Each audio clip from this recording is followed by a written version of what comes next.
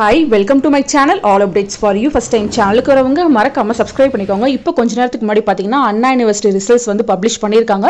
இது யாருக்குன்னு பார்த்தீங்கன்னா பெண்டிங் இருக்குது பிஜி ஸ்டூடெண்ட்ஸ்க்கும் அதே மாதிரி பிஹெச்டி ஸ்டூடெண்ட்ஸ்க்கும் வந்து இந்த ரிசல்ட்ஸ் வந்து பப்ளிஷ் பண்ணியிருக்காங்க. November December twenty twenty and April May twenty twenty one PG and PhD results வந்து பப்ளிஷ் பண்ணியிருக்காங்க. பிஜி செகண்ட் செம்க்கு வந்து எப்போ வந்து ரிசல்ட் பப்ளிஷ் ஆகும்னு சொல்லிட்டு அடிக்கடி வந்து கேட்டுட்டே இருப்பீங்க நிறைய ஸ்டூடெண்ட்ஸ் ஸோ இப்போ பார்த்தீங்கன்னா உங்களுக்கான ரிசல்ட்ஸ் வந்து பப்ளிஷ் பண்ணிட்டாங்க. நீங்கள் அஃபிஷியல் வெப்சைட்டில் பார்த்தீங்கன்னா உங்களோட ரிசல்ட்டை வந்து செக் பண்ணி பார்த்து பார்த்துக்கோங்க அதே மாதிரி ரொம்ப முக்கியமானது என்னன்னு பார்த்தீங்கன்னா கொஞ்ச நாளைக்கு முன்னாடி ஓப்பன் புக் எக்ஸாம் எழுதுனா எல்லாருக்குமே வந்து ரிசல்ட் வந்து பப்ளிஷ் பண்ணியிருந்தாங்க. அதில் நிறைய பேத்துக்கு டபிள்யூஹெச் ஒன்ன்ற ரிசல்ட் வந்துச்சு. அது ரொம்ப நாளாக சேஞ்ச் ஆகாமலே இருந்துச்சு.